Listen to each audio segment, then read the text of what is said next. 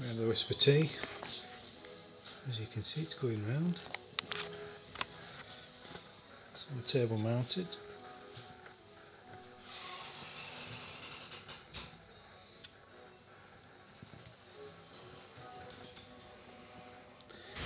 So we've got forward and reverse for left and right-handed people.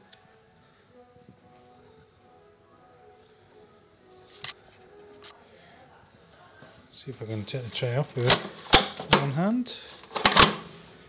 Stop it first and then. There we go, for easy cleaning.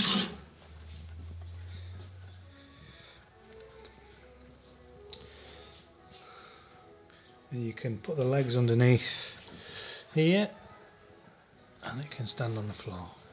So it's got three legs to stand on.